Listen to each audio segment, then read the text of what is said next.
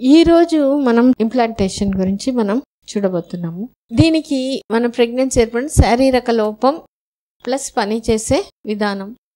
శారీరక లోపం కోసం ఏంటంటే ఇది గర్భసంచి ఇది అండాశయం ఇది ట్యూబ్.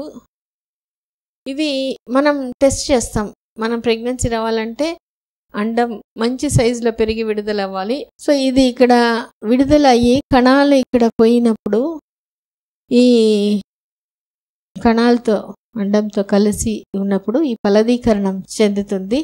ఇది వచ్చి స్టేజ్ ఫస్ట్ స్టేజ్. ఫలదీకరణ అయిన తర్వాత ఇది డివైడ్ అవుతుంది. డివైడ్ అవుతూనే ఈ ట్యూబ్లో ప్రయాణం చేస్తుంది. మొరులో అంటాము.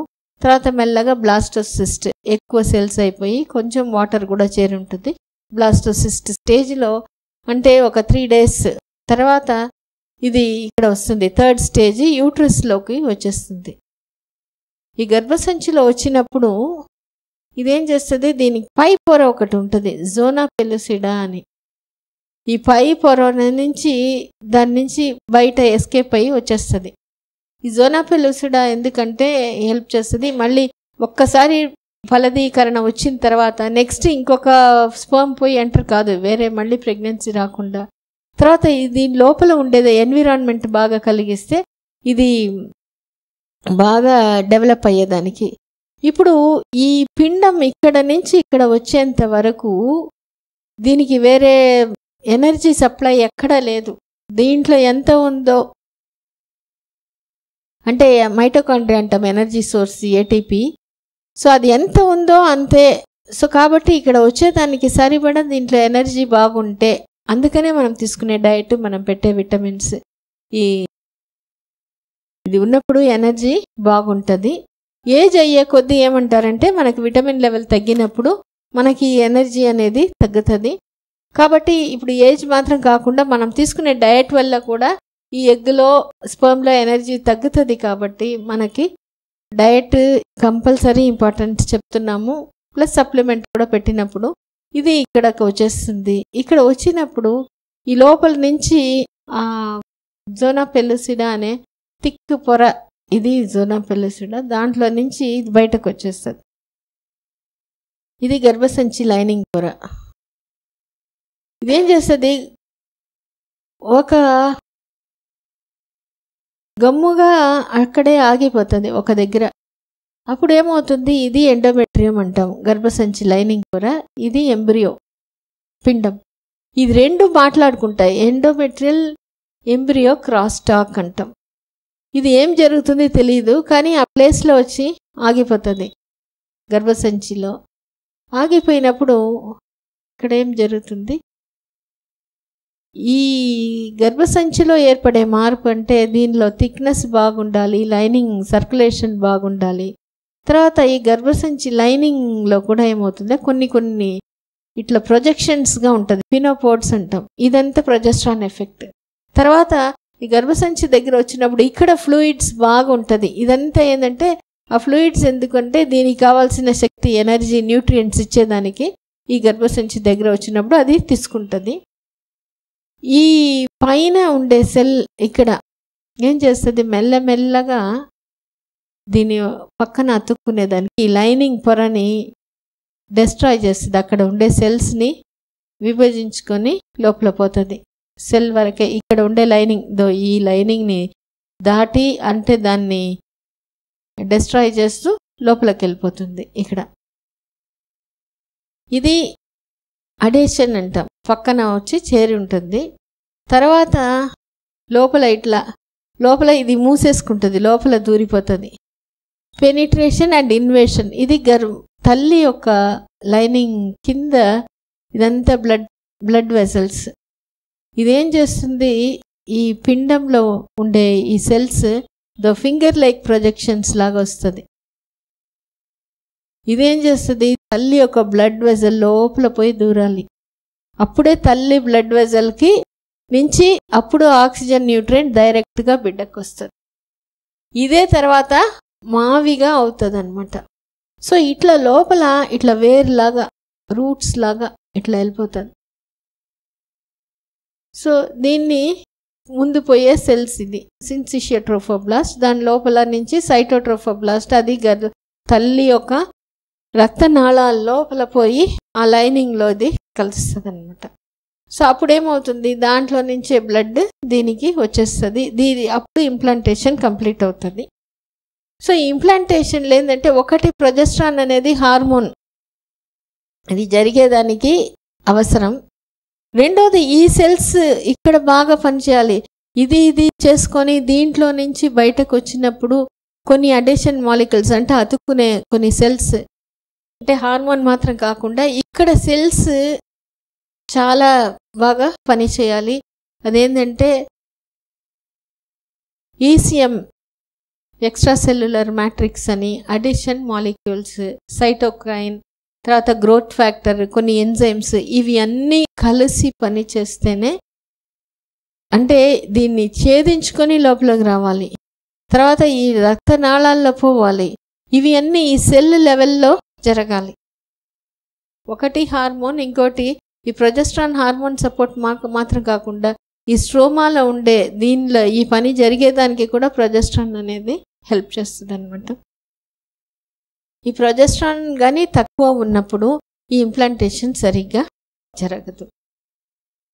ప్రొజెస్ట్రాన్ లెవెల్ మెయిన్గా తక్కువ ఉండేదానికి కారణం ఏంటంటే మనం స్ట్రెస్ మనం టెన్షన్ పడిపోయినప్పుడు మనం ఎదురు చూసినప్పుడు ఈ నెల వచ్చేసి నాకు అన్నీ బాగుంది అంటారు కదా నాకు ఈ నెలనే.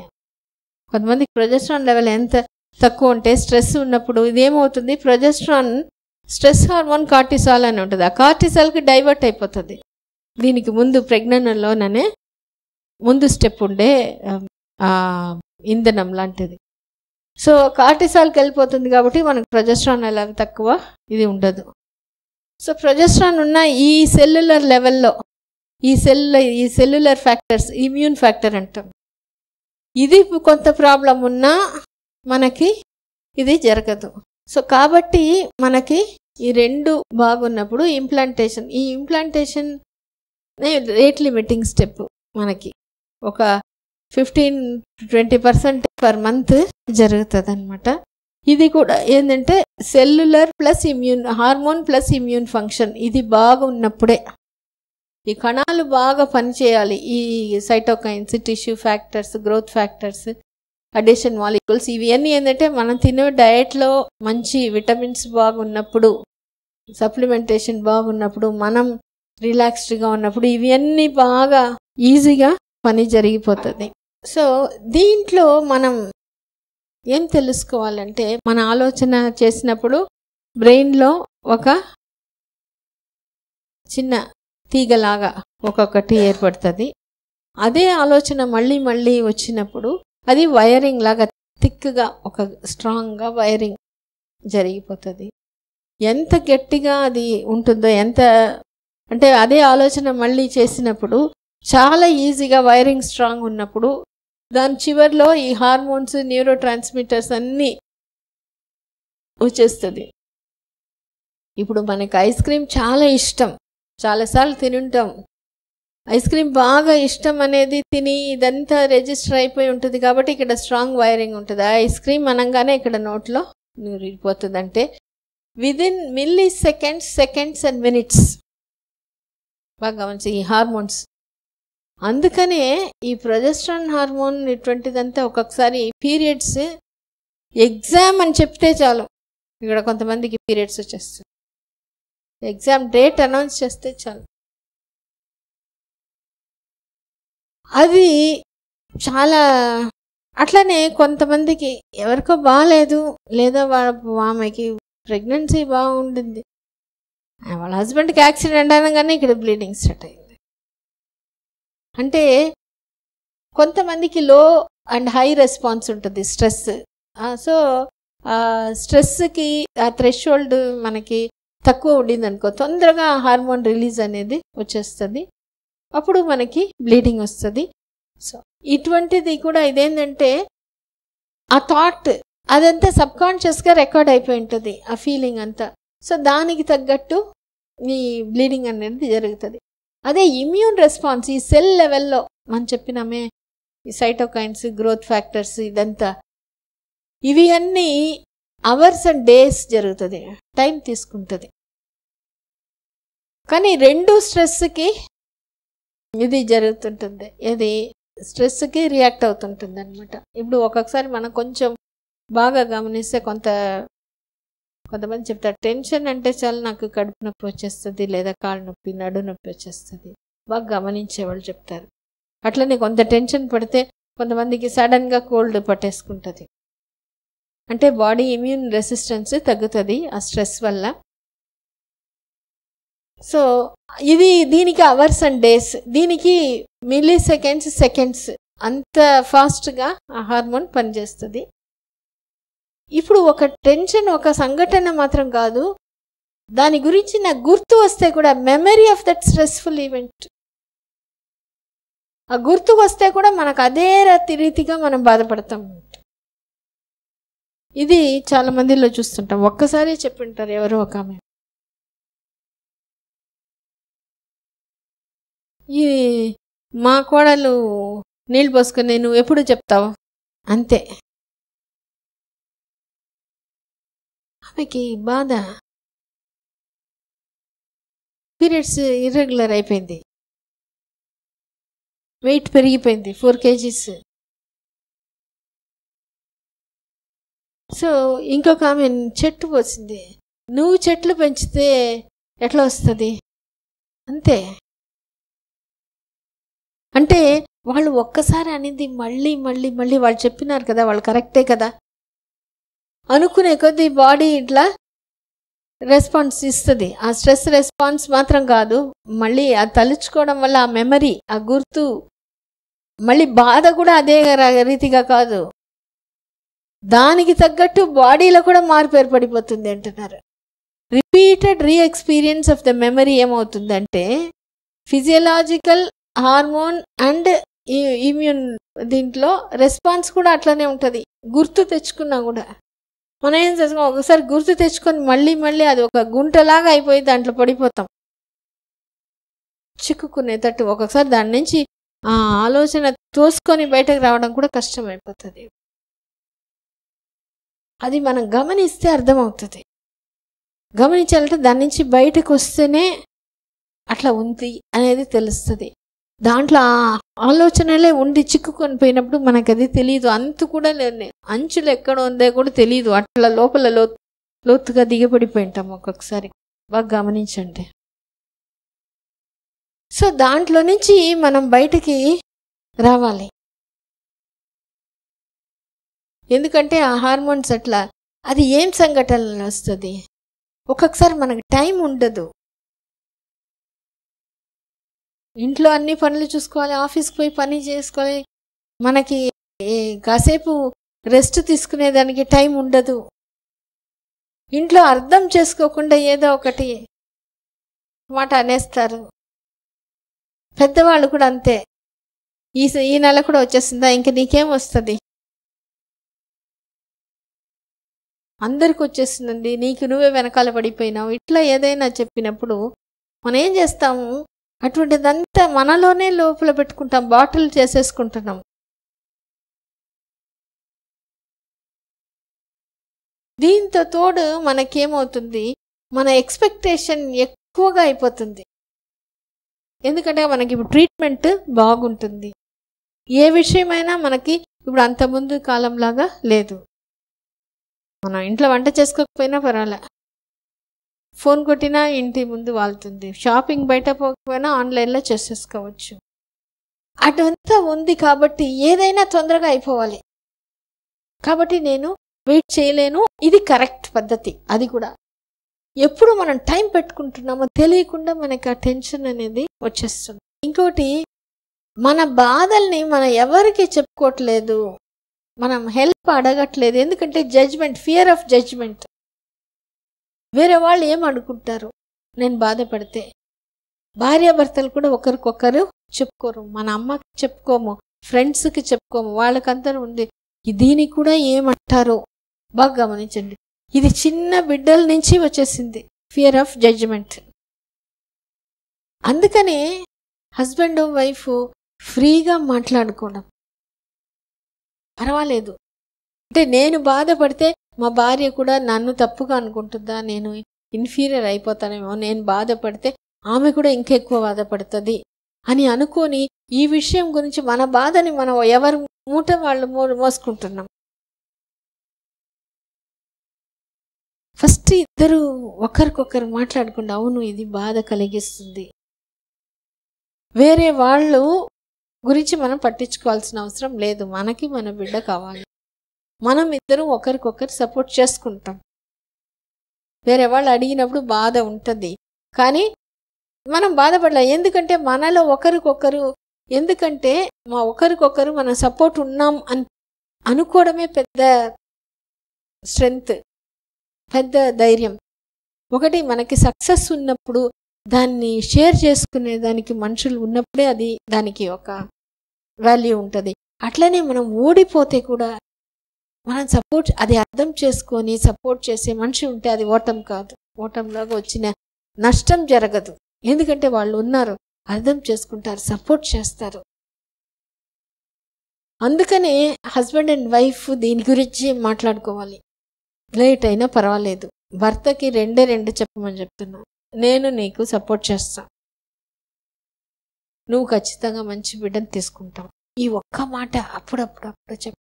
ఎందుకంటే భర్త ఒక్కసారి చెప్పి అప్పుడు వరకు రాని ప్రెగ్నెన్సీ ప్రెగ్నెన్సీ వచ్చిన వాళ్ళు చూసేది. ఎందుకంటే అది సంతోషం భార్యకి ఆ సంతోషం వచ్చినప్పుడు ఈ హార్మోన్స్ హ్యాపీ హార్మోన్స్ రిలీజ్ అయి తీసుకొని వచ్చి చేసేస్తుంది అంతే. మనం మందులు వాడి అందరూ ప్రెగ్నెన్సీ తెచ్చుకోవట్లేదు అందరూ. శారీరక లోపం ఇది సరి చేసినాం శారీరక లోపం సరి చేసుకునే దానికి మనకు ఒక సపోర్ట్ ఒక్కొక్కసారి మనకి మనమే ధైర్యంగా ఉంటాం. ఒక్కొక్కసారి పక్కన ఎవరైనా ఒక సపోర్ట్ ఇస్తే చాలు. మనం బాగా చేసేసుకోగలుగుతాం. అది మనకి కావాలి. పాతకాలంలో అందరు కలిసి మాట్లాడుకోవడం షేర్ చేసుకోవడం ధైర్యం అంతా ఉండింది. ఇప్పుడు ఏంటంటే ఒక్కొక్కసారి ఈ గ్రూప్లో ఉంటారు. అందరూ ఫోన్లు పెట్టుకొని ఉంటారు. ఒక్కొక్కసారి ఒక గ్రూప్లో అడిగినాం మీరు మాట్లాడుకోకుండా మేమందరూ మాట్లాడుకుంటే ఎట్లా మెసేజెస్లో మాట్లాడుకుంటున్నాం? అంటే మనకు ఆ ఫీలింగ్ అనేది పోతుంది. కాబట్టి మనం మళ్ళీ ఈ ఫేస్బుక్ తర్వాత వాట్సాప్ ఇవి అన్నీ ఒక ఫ- కొంతవరకు మనకేదో షేర్ చేసుకున్నట్టు అనిపిస్తుంది. ఏం షేర్ చేసుకున్నా? బయటదంతా షేర్ చేసుకుంటాం. మన ఫీలింగ్స్ని మనం షేర్ చేసుకోవటం లేదు. అది డైరెక్ట్గా ఉన్నప్పుడే జరుగుతుంది. జస్ట్ ఐ కాంటాక్ట్ పెట్టి నేనున్న జస్ట్ ఒక మాట చెప్పి ఒక చేయి పట్టుకోవడం అది చాలు. ఆ కంట్లో నుంచి ఆ నీళ్ళు బాధ అది దిగిపోతే నీళ్ళు ఉంటే అది పెద్ద ప్యూరిఫికేషన్ పెద్ద toxin release emotional toxin release మనం ఏమంటాం ఆ బాధపడకూడదు. బాధపడడం తప్పు. ఆ ధైర్యం లేని వాళ్ళు చేస్తే లేదు ఇక్కడ ఈ ఫీలింగ్ దిగిపోవాలి. దానికి సపోర్ట్ అర్థం చేసుకునే వాళ్ళు అది ఒక్కటి ఆ హస్బెండ్ ప్రొవైడ్ చేయగలిగినప్పుడు. హస్బెండే కాదు ఇంకా ఎవరు ఉన్నా పర్వాలేదు. అది మనకి ఆ మాట అనేది కావాలి. ఇది బయట చెప్పకపోతే ఏంటంటే బాటిల్లో ఉన్నట్టు అన్ని ఫీలింగ్స్ లోపల బయట మాత్రం మనం బాగా అనిపిస్తున్నాం. కానీ అది బయటికి రావాలి. అది బయటికి అదంతటికదే వచ్చినప్పుడు ఏదో ఒక ప్రాబ్లంగా ఏదో ఒక సిమ్టమ్గా అది బయటకు వచ్చేస్తుంది సో అట్లా పక్క నుంచి వేరే వాళ్ళతో డిస్కస్ చేసినప్పుడు ఇప్పుడు డాక్టర్ కానీ లేదా కౌన్సిలర్ కానీ ఎవరితో డిస్కస్ చేసి మన ప్రాబ్లం ఇది పెద్ద విషయం కాదు అనేది తెలుసుకొని ఆ బాధపడడం వదిలేసేయడం. తర్వాత మనకు మనం ఇట్లా కొన్ని పిక్చర్స్ తర్వాత మంచి సాంగ్స్ మంచి స్మెల్ ఉండేది. ఈ పిక్చర్స్ వల్ల ఇవి అన్నీ ఏంటి అంటే ఇది అంతా ఒక్కొక్క సెన్సెస్ రిలేటెడ్ దానివల్ల ఏమవుతుందంటే మనకు మెమరీ వెంటనే వచ్చేస్తుంది.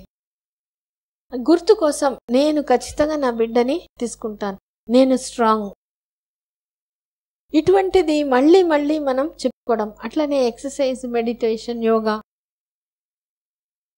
ఇవి అన్నీ మనం చేసుకునేటప్పుడు దీనివల్ల మైండ్ కొంచెం ప్రశాంతం అవుతుంది అంటే అక్కడ ఇక్కడ తిరగకుండా బాధ నుంచి కొంత మైండ్ ప్రశాంతమైనప్పుడు ఇటువంటి మనకు మనం చెప్పుకోవడం. ఎందుకంటే నేను శారీరక లోపం నాకు ఇప్పుడు బాగైంది. నేను రిలాక్స్డ్గా ఉంటే నేను సంతోషంగా ఉంటే ఖచ్చితంగా నా బిడ్డను నేను తీసుకోగలుగుతా. అయితే ఇది రిపీట్ చేసేదానికి అంటే మనకు బాధ అపనమ్మకం నుంచి మళ్ళీ నాకు ఈ ప్రాబ్లం ఇంప్రూవ్ అవుతుంది ఇంప్రూవ్ అవ్వాలి అవ్వాలి అని చెప్పేదానికి రిపీట్గా మనం చెప్పుకోవాలి రికార్డింగ్ అఫర్మేషన్. డౌట్ లేనప్పుడు అఫర్మేషన్ బాగా రిపీట్ చేసేదానికి ఒక్కొక్కసారి ఫిఫ్టీ టైమ్స్ చెప్పాలంట ఒక విషయాన్ని. ఫిఫ్టీ టైమ్స్ రోజు ఒకసారి కానీ రెండు సార్లు కానీ అట్లా రిపీటెడ్ అయ్యే కొద్దీ అయ్యే కొద్దీ కొత్త వైరింగ్ అనేది మనకి స్టార్ట్ అవుతుంది. ఇది మనం ఆలోచిస్తే మన పెద్దవాళ్ళు కూడా ఒక మండలం అని చెప్తారు. నలభై ఎనిమిది రోజులు. అంటే ఎంత సైంటిఫిక్గా వాళ్ళు పాతకాలంలోనే చెప్పి పెట్టేస్తున్నారు. సో ఇది మనకి ఒకటేంటంటే మన గురించి నేను చాలా మంచి తల్లి అవును నన్ను నేను ఒప్పుకుంటున్నాను. ఇంకోటి వచ్చి బయట వాళ్ళని ముఖ్యంగా పక్కన వాళ్ళు ఒక్కొక్కసారి పక్కింటి వాళ్ళు ఉంటారు. ఎవరైనా అదే పనిగా అడుగుతారు. మన డేట్ గురించి వాళ్ళు గుర్తుపెట్టుకొని ఇంకా ఈ నెల అయినట్టు లేదే ఎంతకాలం నువ్వు ట్రీట్మెంట్ ఇట్లా తిరుగుతావు? నువ్వు గట్టిగా అడగకూడదా? నువ్వు డాక్టర్ మార్చకూడదా? బాగా గమనించండి ఇటువంటి మాటల్లో కన్సర్న్ లేదు అక్కర లేదు మన మీద. అక్కరలాగా ఉంటుంది బాధ్యత లేదు. అంటే వాళ్ళకేంటంటే నా బిడ్డ ఇంకా స్కూల్కి పోతుంది. ఇంకా నువ్వు ఇట్లానే ఉండిపోతావేమో. ఇటువంటి మాటలంతా ఏంటంటే బాధ్యత లేని మాటలు. అడిగితే వీళ్ళు బాధపడతారు. అది బాగా గమనించండి. వాళ్ళకి మనం భయపడాల్సిన అవసరం లేదు. వాళ్ళు ఎంత గట్టిగా మాట్లాడినా మనం తీసుకుంటేనే అది మనకి. మనం తీసుకోకపోతే ఇప్పుడు మన పోస్ట్ మ్యాన్ వచ్చి ఇస్తున్నాడు ఏదో. మనం లేదండి మనం కాదు అది అని చెప్తే ఏం చేస్తారు? ఆ పార్సల్ తీసుకొని వెళ్ళిపోతాడు. బుద్ధుడు అట్లానే ఒక ఆయన ఎప్పుడు తిట్టేవాడంట. భిక్షకపోతే. ఆయన ఏం దాన్ని పట్టించుకోవాలా? రోజు ఆయన వచ్చి అడుగుతాడంట. ఒకరోజు చెత్త పోస్తాడు. ఆయన వెళ్ళిపోతాడు. మళ్ళీ పక్క రోజు వస్తాడు. అప్పుడు ఈయన అడుగుతాడు నేను అంత చేసి కూడా మళ్ళీ వచ్చి అడుగుతావే? అంటే అయ్యా నువ్వు తీసింది నువ్వు ఇచ్చింది నేను తీసుకోలేదు. అని ఎప్పుడు చెప్తే అప్పుడు ఆయనకి అర్థమవుతుంది. నేను ఇంత చేసినా కూడా ఆయన బాధ పెట్టాలి ఎంత చేసినా ఆయన బాధపడట్లేదు అంటే ఆయన దాన్ని తీసుకోవటం లేదు. ఇది ఎప్పుడు మనం అనుకుంటాము పక్కన వాళ్ళు కానీ వాళ్ళ మాటలకు అసలు వాల్యూనే లేదు. ఎందుకంటే ఆ మాటలో మన మీద నిజమైన ఇంట్రెస్ట్ లేదు.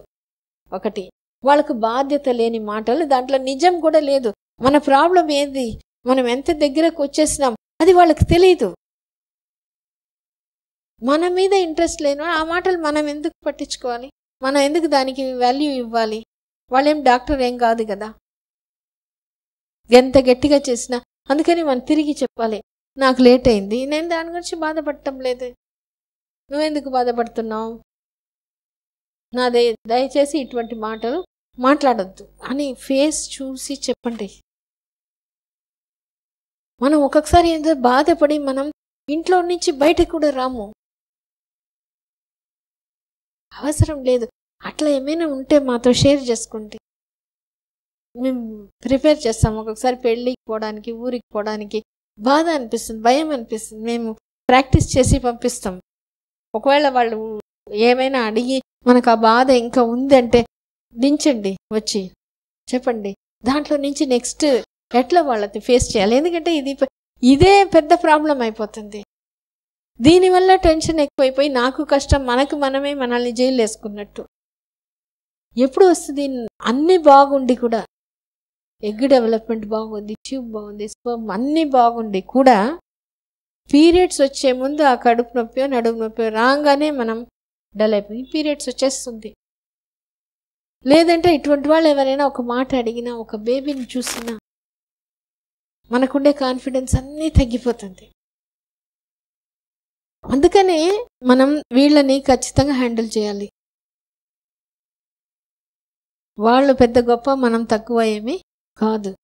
ఇంకా వాళ్ళకంటే మంచి బిడ్డని మనం తీసుకోపోతాం. It's a matter of time వాళ్ళకి చెప్పే ఆ హక్కు ఎట్లా ఉంది అనుకుంటారో మనం తీసుకోకుండా ఉండే హక్కు మనకుంది. మనమే వాళ్ళకంటే తక్కువ కాదు. అది ఎప్పుడు వస్తుంది? నేను మంచి తల్లిని ఆమె కంటే మంచి తల్లి ఆమెకి బేబీ వాల్యూ తెలియట్లేదు అని ఒక్కొక్కసారి కొంతమందిని చూసినప్పుడు మనకు అనిపిస్తుంది. మనం ఈ ఇంప్రూవ్మెంట్ అంతా చూసినప్పుడు ఖచ్చితంగా నేను నా బిడ్డని తీసుకోవాల్సిందే అనేది వచ్చినప్పుడు అది వాళ్ళకి అది చెప్తాం. ఇంట్లో వాళ్ళు ఒక్కొక్కసారి బాధపడతారు. అప్పుడు మనం వాళ్ళకేం చెప్పాలి? మా నేను వాళ్ళేంది ఒక బిడ్డ ఉంటే చాలు ఇంకా బిడ్డ రాలేదే. వాళ్ళకి ఒకే మాట చెప్పండి నేను ఖచ్చితంగా లేట్ అవుతుంది అయినా నేను వదిలిపెట్టను. నా బిడ్డని నేను ఖచ్చితంగా చూసుకుంటా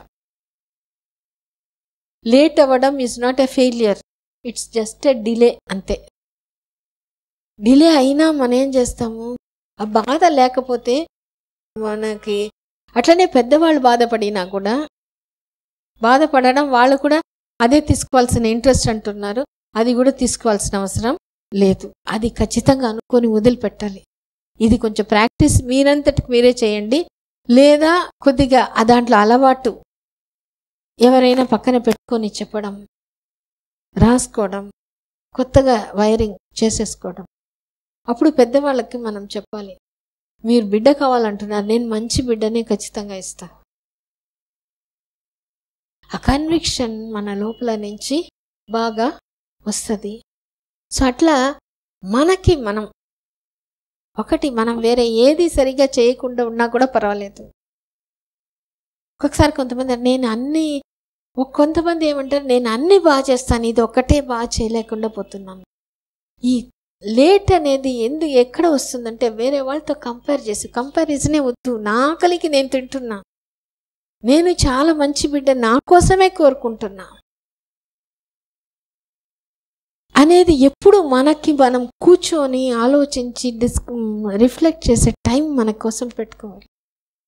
ఆ మెడిటేషను లేదా మంచి సంగీతం వినడం ఈ మంచి రిమైండర్స్ అట్లా పెట్టేసుకోవడం మనకి మనం అది చెప్పేసుకోవడం ఇది పెట్టేటప్పుడు ఆ మైండ్ అనేది కొద్దిగా ప్రశాంతంగా అవుతుంది.